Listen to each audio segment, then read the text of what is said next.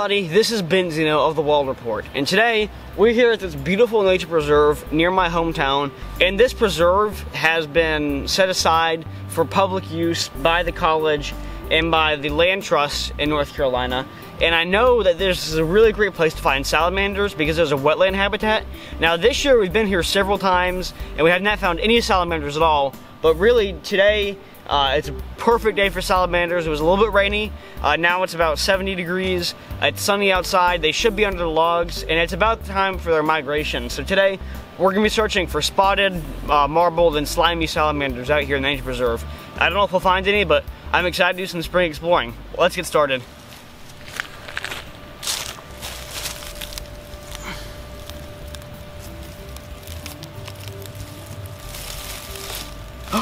My gosh, first log? No way. Hey. Oh no, holy cow. That's a fast one. Whoa, whoa, whoa. Let me get my, let me get my hands moist first. Hang on. Oh my gosh, we found one, we found one. Look at that. Look at that, guys. Can you see him? Whoa, how gorgeous is that? That right there is a marbled salamander. All right, let's get this camera set up.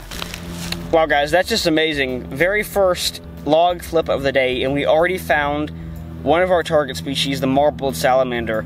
Now this is a very close cousin to the mole salamander. Uh, they're pretty easy to identify. As you can see, it's a lot chunkier than other salamander species. Uh, it almost looks chubby. Also, they have that marbled pattern, so they're black and they have these white stripes in their back. Now this is a gorgeous specimen. I absolutely love marbled salamanders. And let me see if I can get them turned around to the camera. Now, marbled salamanders may look like lizards. Watch out, buddy. Now, marbled salamanders may look like lizards, but they're absolutely amphibians. Uh, so salamanders, even though they do live in the woods rather than in the water for most of their lives, a marbled salamander does still require its skin to be moist to survive, and that's why this species is found under logs a lot. So especially after it rains like that, and the soil under that log is moist, that's where you'll find these. Now, these do breed during this uh, spring season here in North Carolina.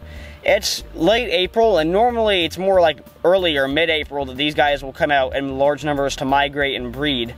But because this winter was so unusually cold, the marbled salamanders were kind of forced to migrate a little bit later in the season so they didn't die of cold. Now these salamanders are here at this specific location because there are wetlands nearby. Now wetlands are an ecosystem that's been damaged quite a lot by urban expansion. Very few wetland ecosystems are left preserved, but this is one of the few. Actually, this is the only wetland ecosystem I know that is preserved in the area, and that's why all the salamanders come here. Now salamanders are important to the ecosystem for a variety of reasons. Uh, one reason is because they eat macroinvertebrates under the logs. So, you know, when mosquitoes breed under the logs. These guys help eat the pupa uh, and keep those numbers down. They also feed on things like beetles and worms, of course. Uh, but salamanders are also food for lots of animals. Uh, they have no teeth or claws or anything like a lizard, nor do they have scales, so they're quite easy prey for a variety, for many different predators here. You know, birds, snakes, anything like that would love to eat a salamander, uh, or raccoons also.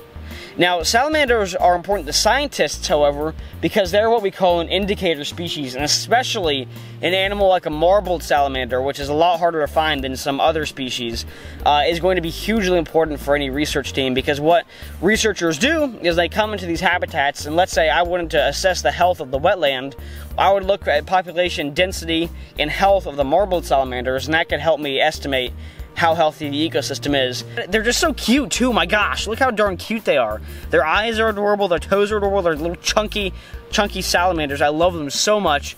Now, when you're handling a salamander, you do want to make sure your hands are moist, so we did rub our hands in that moist soil uh, because your skin oils can damage their skin because their skin is extremely sensitive.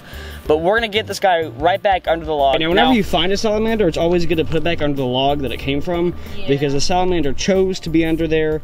Um, so if you ever do remove one, to take pictures or anything, so just set the log back first and then you can put the salamander beside it and it'll actually crawl back under it on its own. Don't put the salamander under first. So, if you watch, we're just set him down right beside there, and he knows exactly where he is, and he'll crawl right back under his log. Yeah, there he goes. Well, everyone, that's all for today's video. I hope that you enjoyed and learned something new about the marbled salamander. Make sure to check out my new website using the link in the description, and subscribe to my channel for new wildlife content coming every Saturday morning. This has been Zino of the Wild Report, signing out.